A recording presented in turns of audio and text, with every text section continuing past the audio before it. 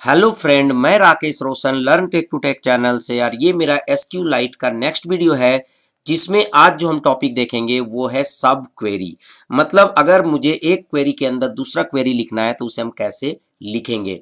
तो चलिए इसको स्टार्ट करने से पहले जस्ट मैं आपसे रिक्वेस्ट करता हूँ कि अगर अभी तक आपने मेरे चैनल को सब्सक्राइब नहीं कर रखा है तो सब्सक्राइब कर लिया बगल में जो बैल उसे ज़रूर क्लिक करें, जिससे मेरे जितने भी नए वीडियोज़ है, उनके नोटिफिकेशन आपको मिलता रहे। साथ ही मेरे वेबसाइट लर्न फ्रॉम राकेश को भी एक्सेस करना ना भूले। तो चलिए स्टार्ट करते हैं।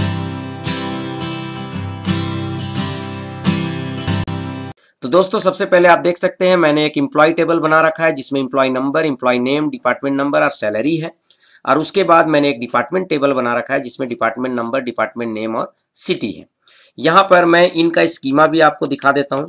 तो डॉट स्कीमा ईएमपी अगर हम लिखेंगे तो यहाँ पर आप देख सकते हैं कि इम्प्लॉय टेबल में जो हमारा डिपार्टमेंट नंबर है, उसको हमने फॉरन की बना रखा है, ठीक है? और उसे रिलेट कर रखा है डिपार्टमेंट के डिपार्टमेंट नंबर से। मतलब डिपार्टमेंट में जो डिपार्टमेंट नंबर है, वो प्राइमरी की है और इम्प्लॉय में जो डिपार्टमेंट नंबर है, वो फॉरन की है।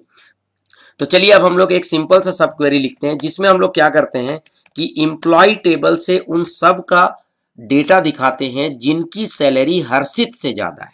ठीक है? तो हर्षित की सैलरी पैंतालीस हज़ार है तो हम उनका डेटा दिखाएँगे जिनकी सैलरी हर्षित से ज़्यादा है। ठीक है? तो मैं यहाँ पर लिखता हूँ select star from EMP where salary is greater than पर ये सैलरी किससे ज़्यादा होना चाहिए? हर्षित से। तो हर्षित की सैलरी जानने के लिए हमको फिर से एक क्वेरी लिखना पड़ेगा। Select salary from E M P where E name equal to Harshit. तो क्या होगा कि ये जो इनर क्वेरी है यहाँ पर सब क्वेरी में क्या बोलते हैं? जो अंदर वाला क्वेरी होता है, इसे हम इनर क्वेरी बोलते हैं। और जो बाहर वाला सिलेक्ट स्टेटमेंट होता है, उसे हम आउटर क्वेरी बोलते हैं। यहाँ पर क्या होता है, जो इनर क्वेरी होता है, वो पहले एग्जीक्यूट होता है। तो ये वाला जो क्वेरी है, वो पहले एग्जीक्यूट करेगा। तो ये हमें हर्षित का सैलरी देगा। और फिर बाकी सभी के सैलरी कंपेयर होगा हर्षित के सैलरी से। और जिनका भी सैलरी हर्षित के सैलरी से बड़ा होगा, उसका डिटेल दिखेगा। तो, तो क्लियरली यहाँ पर आप देख सकते हैं कि हर्षित से ज़्यादा केवल राहुल का सैलरी है। तो यहाँ पर जो डेटा दिखेगा वो राहुल का दिखेगा। तो जैसे ही हमने एंटर किया तो आप देख रहे हैं two Rahul thirty three department number और पैंसठ हज़ार। तो यहाँ पर जो है राहुल का सैलरी दिख रहा है क्योंकि इसकी सैलरी हर्षित से ज़्यादा है। तो इसे हम लोग सब क्वेरी बोलते हैं। अब दो टेबल्स के बीच में सब क्वेरी कैसे लगाएँगे वो भी मैं देखता हूँ। तो मैंने सेलेक्ट स्टार फ्रॉम ईएमपी लिखा। तो यहाँ पर इंप्लॉय का डेटा आप देख सकते हैं। उसके बाद मैंने लिखा सेलेक्ट स्टार फ्रॉम डीपीटी तो ये डिपार्टमेंट का भी आप डेटा देख सकते हैं। अब हम क्या चाहते हैं कि डिपार्टमेंट टेबल से उन्हीं डिपार्टमेंट्स का डिटेल दिखे, ठीक है? जिन डिपार्टमेंट्स में ये इंप्लॉय काम कर रहे हैं।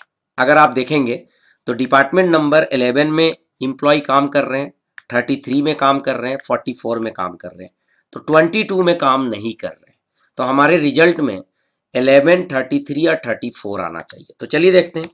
तो हम लिखते हैं सिलेक्ट स्टार फ्रॉम डीपीटी आप चाहे तो पूरा का पूरा डेटा भी दिखा सकते हैं स्टार लिख के। आप चाहे तो केवल डिपार्टमेंट नंबर और नेम देना चाहते हैं तो वो भी आप कर सकते हैं। वेर उसके बाद मैं लिखता हूँ डी एन ओ इन और फिर यहाँ पर मैं लिखता हूँ सिलेक्ट डीएनओ फ्रॉम ईएमपी मतलब इंप्लॉय टेबल में जितने भी डिपार्टमेंट नंबर है तो इंप्लॉय टेबल में ये तीन डिपार्टमेंट नंबर है eleven thirty three forty four तो ये डिपार्टमेंट के डिपार्टमेंट नंबर से कंपेयर होगा और जो मैच करेगा वही रिज़ल्ट में आएगा। तो जैसे मैं एंटर करूँगा तो यहाँ पर देख सकते हैं इलेवन आ रहा है थर्टी थ्री आ रहा है फोर्टी फोर आ रहा है ट्वेंटी टू नहीं आ रहा है।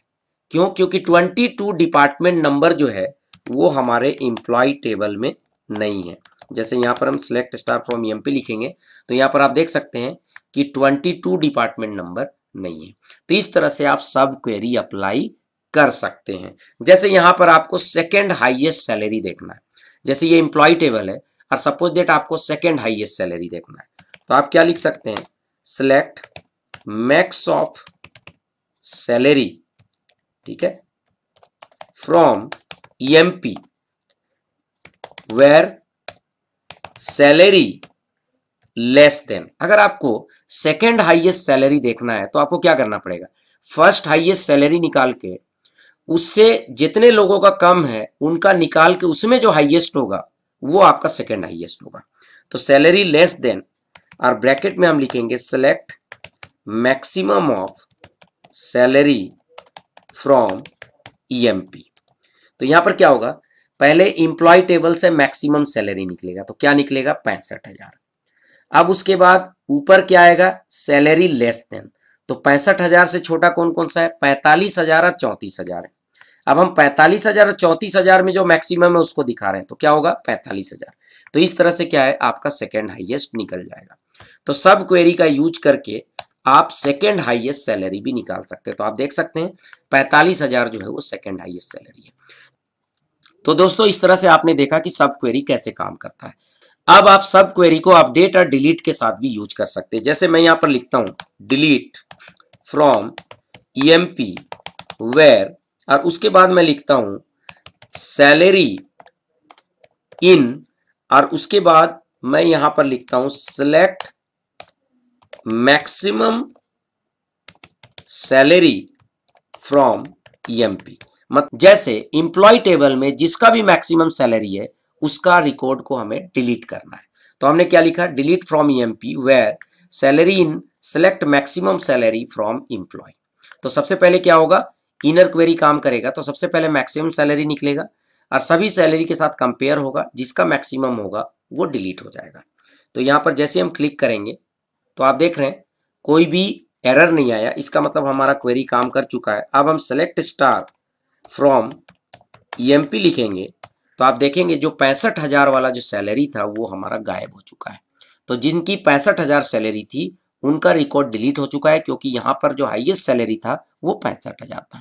तो दोस्तों, इस तरह से आप सब क्वेरी को यूज़ कर सकते हैं। तो चलिए फ्रेंड आई होप आपको वीडियो पसंद आएगा अच्छा लगा तो लाइक करें शेयर करें कमेंट करें। और अगर अभी तक आपने मेरे चैनल को सब्सक्राइब नहीं कर रखा तो सब्सक्राइब कर लिया और बगल में जो बेल से ज़रूर क्लिक करें, जिससे मेरे जितने भी नए वीडियो है, उनके नोटिफिकेशन आपको मिलता रहे। थैंक यू डुबा